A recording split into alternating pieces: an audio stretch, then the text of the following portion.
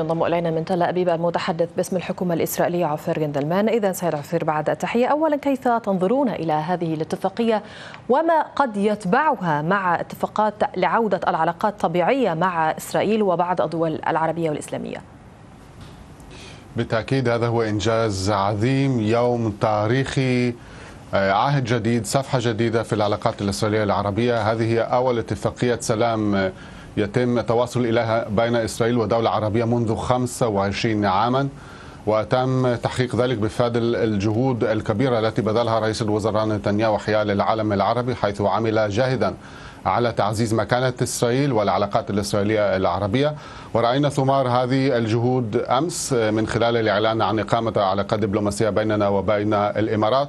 الشعب الإسرائيلي أجمع يرحب بهذا الإنجاز وبهذه الاتفاقية. تم إنارة أو اضاءه مبنى بلدية تل أبيب أمس بألوان العلم الإماراتي احتفالا بهذا الإنجاز وبهذه الاتفاقية. ونحن نتطلع طبعا إلى المراسم التي ستقام في البيت الأبيض للتوقيع على هذه الاتفاقية وطبعا لتوسيع رقعة العلاقات بيننا وبين الإمارات. وبالتأكيد يعني يوم سعيد جدا. طيب سيد عفير يعني على الأرض في أعقاب توقيع هذه الاتفاقية بين البلدين برعاية أمريكية ما هي الخطوات اللاحقة؟ كيف يتم تفعيل ذلك على الأرض؟ نعم ستكون هناك اتصالات بين الطرفين لتحديد الوسائل ولتحديد الخطوات المفصله التي سيتم القيام بها. سيكون هناك تعاون مع الإمارات في جميع المجالات في الطب وفي العلوم وفي السياحة. سيتم أيضا يتم القيام أيضا بعمل مشترك لإيجاد لقاح لجائحه الكورونا وكلنا نعاني من هذه الجائحة في هذه المنطقة وأعتقد بأنه جميع شعوب المنطقة ولا سيما الشعبين الاسرائيلي والاماراتي سوف تستفيد من هذه الجهود وهذا التعاون. طبعا سيكون هناك تابع كبير وعلني لهذه الاتصالات ولهذه العلاقات. وأريد أن أذكر بأن رئيس الوزراء نتنياهو وخاصة المسؤولون الأمريكيون قالوا أمس بأنه ستكون هناك دول أخرى ستنضم إلى دائرة السلام مع إسرائيل هذه بشرى سارة جدا لكل من يدعم السلام والأمان والاستقرار والازدهار في هذه المنطقة وأعتقد بأن كل من حلم بمستقبل جديد وبمستقبل أفضل يرى بوادر هذا المستقبل أمس واليوم.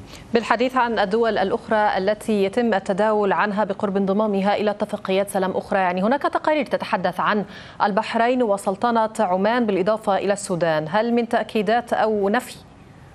هناك تكهنات وتخمينات. أنا أتحدث فقط باسم دولة إسرائيل. طيب أعود مرة أخرى إلى اتفاقية السلام ودعني أتحدث سيد عفير يعني اتفاق السلام الذي أبرم ما بين الإمارات العربية المتحدة ودولة إسرائيل.